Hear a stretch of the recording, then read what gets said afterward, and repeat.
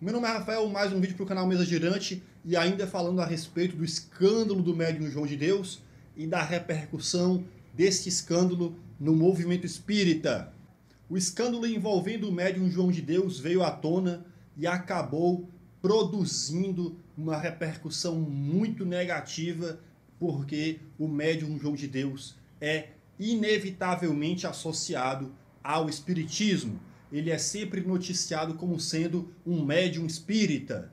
A partir de toda a cobertura da mídia, de todas as notícias que veicularam esse escândalo, o que ocorreu foram que os espíritas, de repente, começaram a se posicionar para dar explicações no sentido de deixar claro que o médium João de Deus não é espírita. Logo quando o escândalo surgiu, a Federação Espírita Brasileira lançou nota, uma nota explicativa, na qual deixava claro que o médium João de Deus não é espírita. E mais recentemente, o vice-presidente da FEB deu uma entrevista na qual também ele evidencia porque o médium João de Deus não é espírita. Nesse canal mesmo, nós fizemos um vídeo, um vídeo anterior, no qual nós explicamos a diferença entre a doutrina espírita e as doutrinas espiritualistas. Com todas as explicações que foram dadas, algumas pessoas que entendem que o médium João de Deus é espírita, algumas pessoas que simpatizam com o seu trabalho, algumas pessoas que simpatizam com as curas, com o trabalho de cura que ele realizava, algumas pessoas se sentiram incomodadas porque entenderam que os espíritos estavam, de certa forma, dando as costas para o médium João de Deus, como quem diz assim: ah, só estão falando que agora ele não é espírita por causa do escândalo, porque antes ninguém falava nada.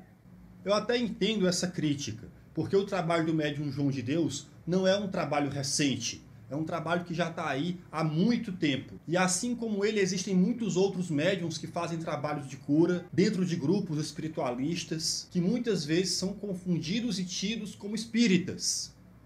Agora eu pergunto para quem faz essa crítica, para quem faz esse comentário: o que é que vocês esperam?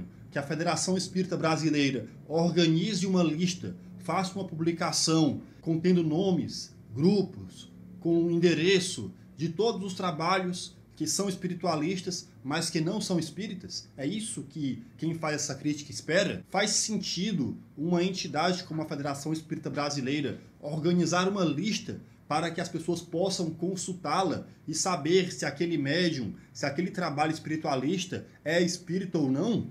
Eu não vejo sentido nenhum em a Federação Espírita Brasileira organizar algo dessa natureza esperar que uma entidade espírita crie, de certa forma, uma blacklist é algo um tanto quanto incompatível com a doutrina espírita. Além do mais, com qual autoridade a Federação Espírita Brasileira organizaria uma lista dessa natureza? Sem contar na quantidade enorme de trabalhos que são feitos por aí de ordem espiritualista, pertencentes a grupos, a seitas espiritualistas, ou seja, as diversas religiões que existem inclusive as de natureza afrodescendente. Imaginar que a Federação Espírita Brasileira, de repente, por uma questão de pureza doutrinária, vai organizar uma lista para dizer: olha, esse médium, aquele médium, esses trabalhos não são espíritas. Isso daí é algo inconcebível pelas dificuldades materiais de se implementar e pela, pela questão ética, que é totalmente incompatível com a doutrina espírita. Porque, em última análise, uma lista dessa ordem promoveria, no mínimo, preconceito e intolerância. Porque, de certa maneira, isso acabaria coincidindo com aquilo que eu falei no vídeo anterior. Porque as pessoas teriam, em relação a, a esses que se encontram na lista publicada, uma espécie de suspeição, porque esses aqui não fazem um trabalho espírita. Então, muito cuidado com esse médium, com esse trabalho, com esse grupo, porque afinal eles não são espíritas. Assim, de certa maneira, estaria se fazendo um trabalho no qual tiraria-se a credibilidade de trabalhos que muitas vezes são feitos com seriedade. Então, esperar que os espíritas, pensando aqui na Federação Espírita Brasileira, teria que organizar uma lista, lista na qual as pessoas pudessem saber, porque quem faz essa crítica em relação às explicações que estão sendo dadas com relação ao jogo de Deus Parece que, na verdade, gostariam que a FEB tivesse antes lançado uma publicação na qual ela dissesse assim: olha pessoal, o médium João de Deus, assim como o médium fulano de tal, Beltrano,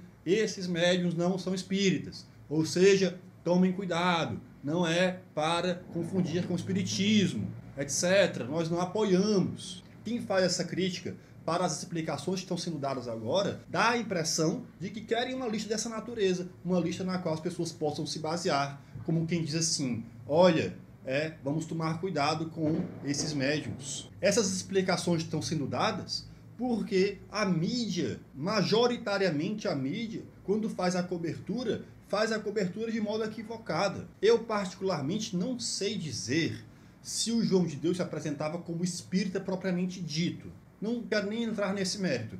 Mas as explicações, quando são feitas, é no sentido de orientar de um modo geral, porque a mídia, a cobertura jornalística, não se dá o mínimo trabalho de fazer uma consulta simples, de saber o que é o espiritismo, o que é o espiritualismo, como é que essas coisas se organizam. Então essas explicações quando são dadas, são dadas justamente porque a mídia faz uma cobertura muitas vezes atrapalhada e generaliza, faz a confusão, porque afinal de contas, no senso comum, porque tem médium, então é tudo a mesma coisa, recebe espírito, então é tudo a mesma coisa. Como, por exemplo, avião, porque todos têm asa, então são todos iguais, pertencem à mesma empresa, têm a mesma capacidade de voo, ou porque a banda tem os mesmos instrumentos musicais, devem tocar as mesmas músicas. É, é um raciocínio muito bobo, mas é um erro que as pessoas acabam cometendo por ignorância, por falta de conhecimento. E quando os espíritas se posicionam, quando a FEB lança nota, quando o vice-presidente da Federação Espírita Brasileira dá uma entrevista, ou quando alguém faz um vídeo, como eu fiz no vídeo anterior, é justamente para poder esclarecer, porque há a oportunidade de dar o esclarecimento. Afinal de contas, o nome do Espiritismo está sendo aí propalado aos quatro ventos relacionados com o escândalo. Mesmo que não fosse o escândalo, mesmo que, vamos supor, a notícia vinculada com o médium João de Deus foi de que o médium espírita João de Deus curou uma personalidade famosa e agora o mundo inteiro está procurando João de Deus para obter curas. Os espíritas teriam a obrigação de dizer: olha, a cura ocorreu lá, etc. Todo o mérito do trabalho que João de Deus desenvolve, mas João de Deus não é espírita. Eu entendo a crítica que é feita em relação a essa explicação, porque parece que dá a impressão de que os espíritas estão fazendo questão de dizer que o médium João de Deus não é espírita só por causa do escândalo. Porque se fosse uma notícia de coisa boa, talvez os espíritas pegassem e dissessem assim: não, ele é espírita, vamos entender aqui, etc. Não é o caso. Eu, particularmente, teria lançado o vídeo da mesma maneira. Se a notícia vinculada ao João de Deus fosse uma notícia boa, eu ia dizer do mesmo jeito, pessoal, ótimo, que legal as curas que ele faz, tem a explicação dentro da doutrina espírita, mas o médium João de Deus não é espírita. É apenas uma questão de oportunidade de esclarecimento. Não tem nada a ver, e o meu vídeo anterior foi justamente nesse sentido, para que essa explicação não tenha uma conotação de transparecer que os espíritas são superiores e que o nome do espiritismo não pode estar relacionado a um escândalo, como se entre os espíritas fosse impossível acontecer algo desse tipo. Não, não é impossível, porque os espíritas não são perfeitos, nós somos todos humanos, podemos nos equivocar, podemos cometer falhas, apesar da orientação moral espírita. Eram esses nossos comentários a respeito disso tudo que está acontecendo.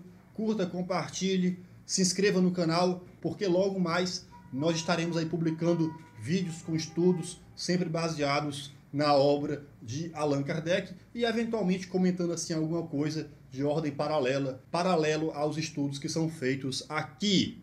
É isso, valeu!